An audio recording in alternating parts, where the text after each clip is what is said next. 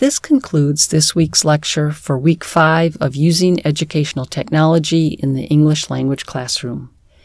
Thank you for joining us, and I hope this week's lecture gave you lots of ideas that you can work with as you explore and develop your own materials for teaching writing with technology.